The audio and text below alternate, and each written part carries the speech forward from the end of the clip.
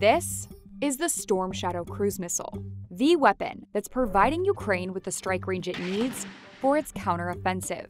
These highly precise weapons have a range of over 155 miles, three times that of the HIMARS in Ukraine. With that kind of range, these weapons are forcing Moscow to rethink its logistics. Here's how these long range, deep strike missiles work, and why the Storm Shadow is equipped to take out key Russian command and control centers. The reach of a Storm Shadow, it allows Ukraine to target all of this territory you see here. So if you look here at this map of the front lines, that includes Crimea, places like uh, you know Berdyansk, where there's a lot of command and control. With a miniaturized jet engine, lightweight materials, and autonomous navigation systems, the Storm Shadow is able to travel far beyond the line of sight of the launching aircraft to complete its mission. The missile's 155 mile range is what helped Ukraine hit this bridge, more than 100 miles from the front lines which Russian troops have relied on for supplies into the Kherson and Zaporizhia regions. But the missile's strength is not just its range. Its pre programmed targeting is also highly precise. It is what we call a fire and forget.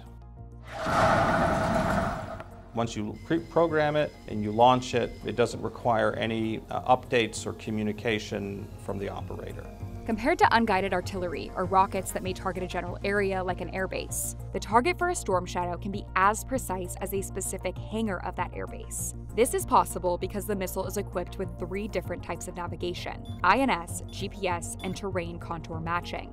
The inertial navigation system is a collection of onboard motion sensors that tracks the orientation and velocity of the missile, calculating its location without satellites but errors can creep into the system with longer missions, so the Storm Shadow also gets periodic GPS updates. Obviously, the most accurate way to do it would be if you just had the missile hooked up to GPS, live stream, and constantly getting updates. But GPS can make the missile vulnerable to counterattacks. So that's dangerous to do in, in a combat environment because you have electronic warfare countermeasures. In some cases, they can spoof a GPS signal, so make it tell it it's somewhere where it's not. The third type is terrain contour matching. Using an altimeter to help establish its location, the Storm Shadow measures changes in the elevation of the terrain below it and compares it to its onboard database. All the while, the missile is flying at terrain hugging altitude, one of many features helping the Storm Shadow evade radar detection, making it difficult to shoot down. When something is flying high, you can see it from a long way away. If something is flying very low, it becomes hard to see because you don't have a clear line of sight. Experts say the Storm Shadow also appears to be outfitted with additional countermeasures that make it even harder to intercept, though the exact type isn't publicly disclosed.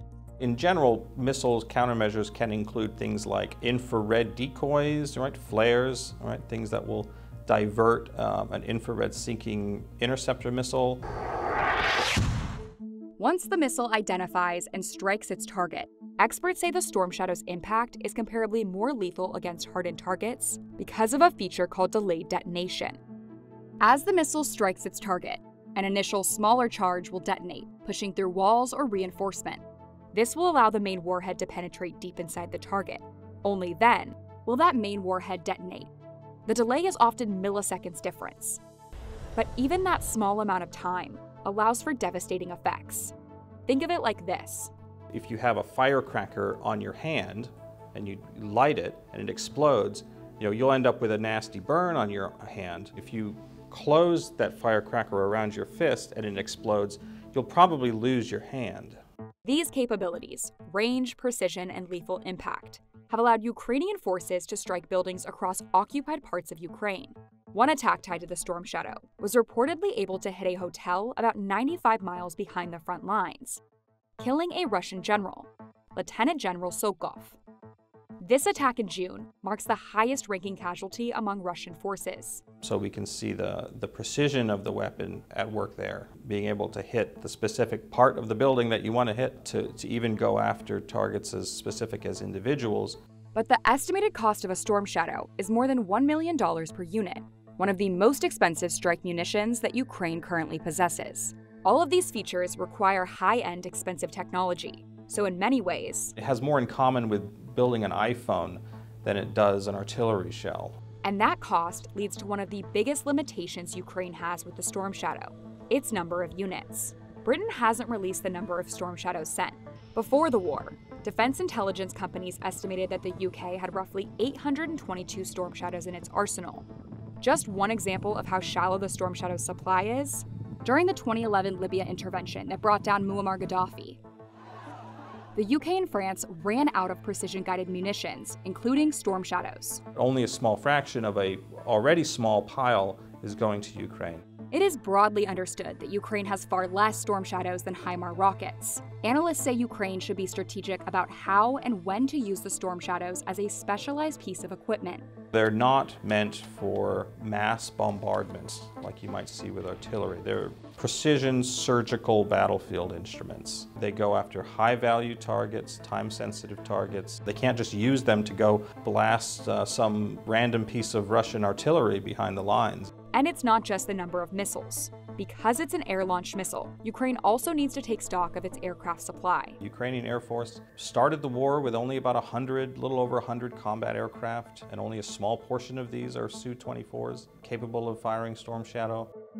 The Storm Shadow is equipping Ukraine with a critical capability at an important time in its counteroffensive, but the effort is moving slowly. Most of the supplies are coming up through here, so by attacking the attacking the corridors that these supplies move through, they can slow down and complicate the delivery of munitions. Williams said that in order for this strategy to be effective, Ukraine will need more long range options. Currently, the UK and France are the only countries supplying Ukraine with these types of missiles, like the Storm Shadow and the nearly identical Scalp missile. Germany so far has rejected a Ukrainian request for its Taurus cruise missiles, which has an even longer range of nearly 300 miles and the Biden administration is still deliberating whether to send its equivalent weaponry, the Army Tactical Missile System, or ATACMS, with a range of some 190 miles.